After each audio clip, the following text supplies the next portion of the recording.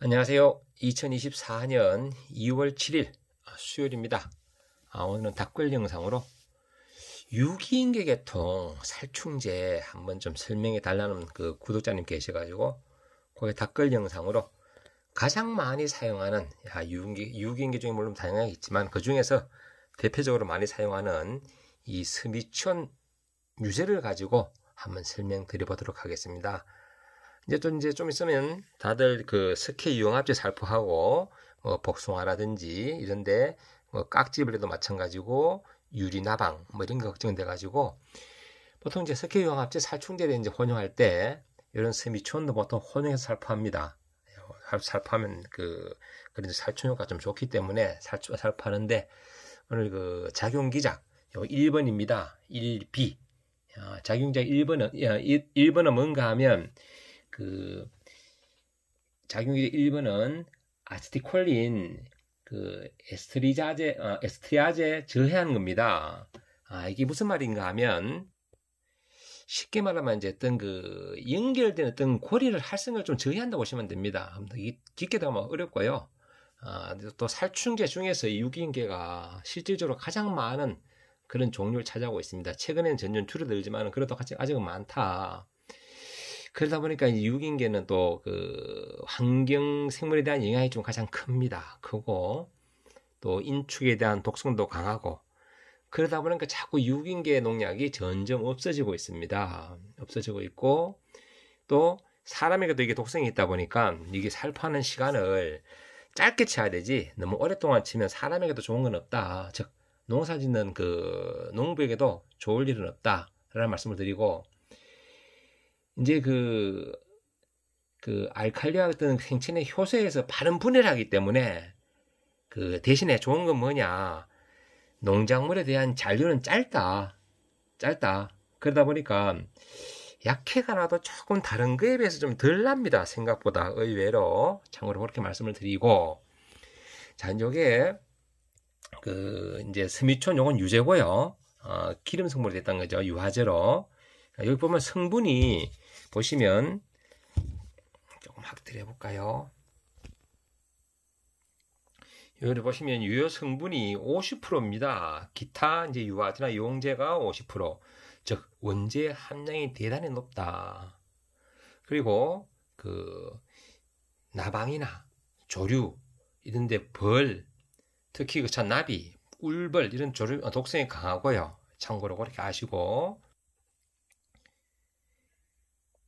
그리고 이제 서미촌이 보면요. 이제 수화제도 있습니다. 수화제도 있고 유제가 있는데 최근에 아마 서미촌 수화 서미촌 수화제를 구입하신 분 아마 없을 거예요. 왜냐하면 예전에는 스미치온이 수화제도 나오고 유제도 나왔는데 지금은 이 스미치온을 만드는 회사가 이 동방입니다. 동방아그로서 만드는데 그 수화제도 마찬가지입니다. 동방아그로서 만드는데 최근에 스미치온 수화제는 그 상품명은 살아있는데 만들지는 않고 있다. 아, 저희들 그 제가 현직에 있을 때 스미치온 수화제가 필요해서 여러 차례 구입을 그 시도했지만 실제 구입을 못했습니다. 못한 이유가 이제 회사 측에서는 이게 이제 그 작업 환경이라든지 이런 것들이 자꾸만 이제 규제가 심해지고 심해지고 하니까 그게 맞춰서 생산을 해야 되거든요. 예전에 진짜 막 그 어렵게 살 때 이야기는 아, 제가 저도 농약 회사에 방문한 적이 있습니다. 왜냐하면 이제 반, 농약 반품하느라고 10월 말 되면 이게 보통 이제 그 유통기한이 10월 말이거든요. 10월 어, 3년, 2년 뭐 이런 식으로 내가 10월 말에 농약을 반품을 해야 되는데 반품하러 농약회사 가보면요. 공장 가보면 아, 이런 작업 환경에 어떻게 이 참 사람들이 견딜까 이런 생각도 했었는데 최근에는요. 공장이 대단히 깨끗해졌습니다. 가보면 야 진짜 기계화가 되어 있고 참 많이 좋아졌다.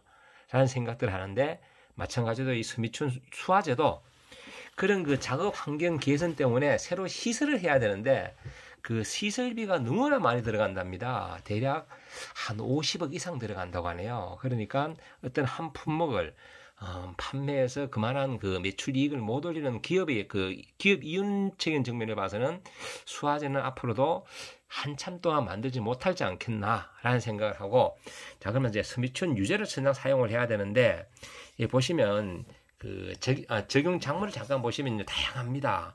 벼, 소나무, 잔디, 사과. 참고로 사과는요. 여기만 입마리 나방이 등록되어 있고요.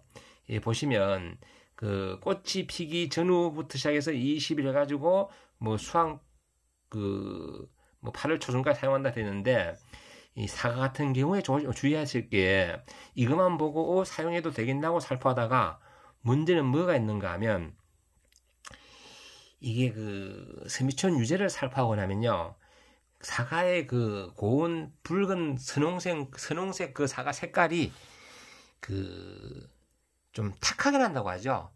좀 선명하고 좀 이렇게 좀 그 보기도 맑은 그런 색깔이 나야 되는데 흐리고 탁한 색깔이 난다. 즉 착색 조건이 좋아지지 않는다. 그러면 반대로 말하면 상품성이 떨어집니다. 그러니까 이런 스미촌 뭐 유제라든지 일산 유제 이런 거 사과에 등록돼 있다고 해가지고 마구 사용하시면 안 됩니다. 대신에 이런 동계에 어, 석회 용합제를 사용해서 살포할 때 나무 조미라든지 그 복숭아 유리 나방 뭐 이런 거 그리고 각종 그 나방류 그 뭐 순나베나 이런 심신용 그런 그 그 부분이 좁힐 수가 있어서 월동하는 이런 경우 그런 것을 방비하려고 사용하면 되지만 생육계는 어지간하면 사용하지 않는 것이 좋다. 이 복숭아도 잘 등록되어 있거든. 복숭아도 뭐 나무 조미라든지 등록되어 있습니다. 참고로. 그리고 이게 스미션은 보시다시피, 보시다시피 이렇게 뭐 풍뎅이, 나방, 깍지벌레, 그리고 노린재, 또, 또 다른 작물 보면요. 어, 뭐 마늘의 뿌리 응애, 뿌리 응애 참고로 관주합니다. 관주. 그리고 뭐 꽃미미, 이런 식으로 다양하게 되어 있다. 등록이 노린지부터 뭐파 바, 뭐야 그팥 바구미까지 그리고 노린재 이렇게 다양하게 되어 있습니다. 근데 보면요. 그 수학 안전 기준은 대부분 짧아요. 왜? 이게 그 유기인계 특성상 짧은 잔류성을 가지고 있다. 대신에 관주할 경우에 그, 그 뿌리 응이라든지 파, 마늘 같은 데 이런 데 관주할 경우에는 이게 잔류가 60일입니다. 60일. 그러니까 관주할 경우는 최소한 5, 60일 전에 사용하시고 일반 사용할 경우에는 보통 한 14일에서 뭐 길어도 20일이다. 그렇게 하시면 됩니다. 이 잔류는 의외로 짧다. 이런 말씀을 드리고 이제 이제 그 스미촌 사용하기를 주로 이제 가격이 싸다 보니까 콩이라든지 이런 데 아주 유용합니다. 콩에 노린재가 심하잖아요. 그러니까 이 스미추는 또 원칵 넣은 지 오래된 약이 되다 보니까 가격이 쌀 수밖에 없습니다. 기업 측에 봐서는 벌써 본전을 뽑았다는 이야기죠. 생산 라인하고 모든 걸해서 그래서 가격이 싼 편인데 그럼에도 불구하고 어, 뭐 사과라든지 좀, 좀 주의는 해야 된다. 이런 말씀 드리면서 오늘은 그 구독자님 요청에 의해서 아, 유기인계 농약 어, 작용기작 1번입니다. 아, 1B 스미촌 대표적으로 많이 사용하는 스미촌에서 한번 설명드리고요. 그 참고로 그 석회 용합제 사용하실 때그 살, 요 살충제 어, 혼용 배수는요 그 1100입니다. 물 500ml당 한 병 이렇게 넣으시면 되고요.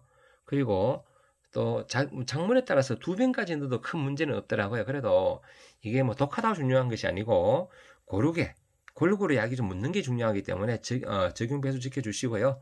그리고 스키 용화제 사용하실 때 그 전착제 같이 혼용해가지고 사용하시면 더 효과적이다. 이런 말씀까지 아, 곁들여 드려봅니다. 어, 저 같은 경우도 이제 오스미총 같은 경우는요, 어, 복분자에 싹이 트기 전에 사용을 합니다. 가격이 안 비싸기 때문에.